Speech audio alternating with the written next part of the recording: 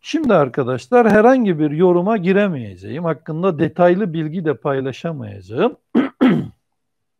Sadece başlığını zikredebileceğim bir konuya geldim.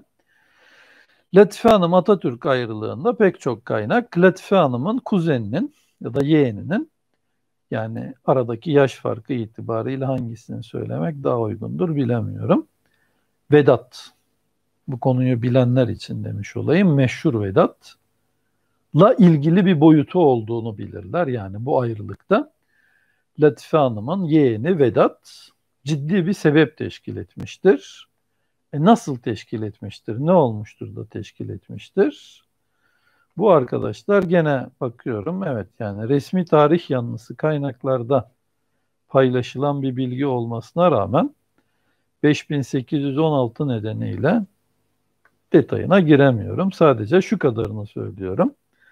Atatürk Latife Hanım ayrılığında Vedat'ın nasıl bir rol oynadığına dair bir, Gürkan Acır, bizim hep inanmamızı istediler. Maamin kitabı sayfa 268.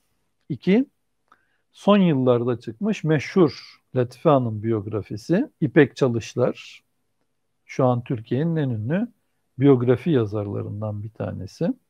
Oral Çalışlar'ın hanımı öyle İslamcı yobaz olduğunu falan da herhalde bu dünyada hiç kimse iddia etmeye kalkışmaz.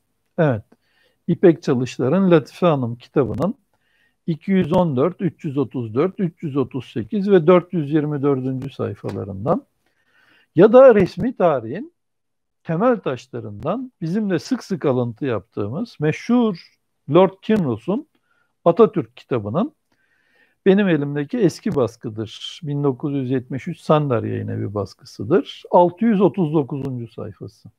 Şu an piyasadaki Lord Kinross aynı çeviridir, aynı metindir. Altın kitaplara ait.